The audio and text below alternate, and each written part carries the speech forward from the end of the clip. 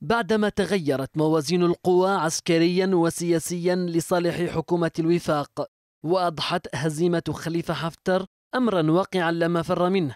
خرج الرئيس المصري عبد الفتاح السيسي أحد أهم الداعمين لمشروع عسكرة الدولة في ليبيا ليهدد الليبيين بالتدخل المباشر في بلادهم في تناقض واضح مع مبادراته التي لم يجف حبرها بعد والتي دعا فيها لتغليب لغة الحوار ووقف الأعمال العسكرية.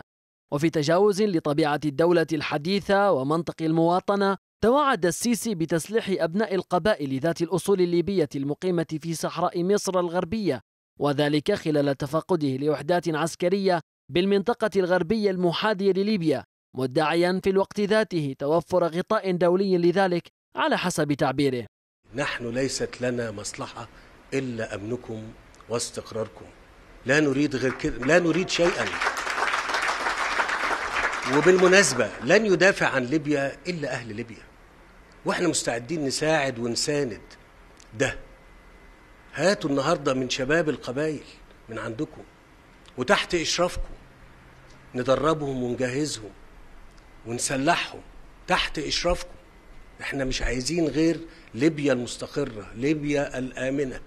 السيسي لم يكتفي بالتلويح بالتدخل المباشر فقط بل ذهب إلى التهديد بعدم قبولهم تجاوز مدينتي سرت والجفرة معتبرا هاتين المدينتين خطا أحمر بالنسبة للقاهرة لا يمكن تجاوزه متعهدا بتسليح أبناء القبائل وتدريبهم. الخط اللي وصلت إليه القوات الحالية سواء كان على من جانب أبناء المنطقة الشرقية أو المنطقة الغربية كلهم أبناء ليبيا وإحنا بنتكلم مع شعب ليبيا وليس مع طرف ضد طرف.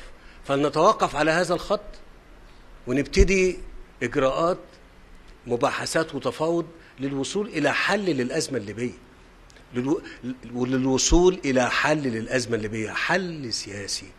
إنما إذا كان يعتقد البعض أنه يستطيع أن يتجاوز الخط سرت الجفرة ده أمر بالنسبة لنا خط أحمر. وتأتي تصريحات السيسي في وقت تعثرت فيه مفاوضاتهم مع أثيوبيا بشأن سد نهضة ومطالبتهم مجلس الأمن بالتدخل لإيجاد حل عادل ومتوازن حيث أضحت القاهرة وفق رأي مراقبين عاجزة عن التعامل مع أديس أبابا ولا تحمل أي أوراق قوة وتستجدي منها الحوار والسلام بينما نراها على الضفة الغربية من حدودها تلوح بالتدخل العسكري المباشر ومزيد من الحرب والدمار مستغلة الانقسام القائم وضعف الجبهة الداخلية في البلاد.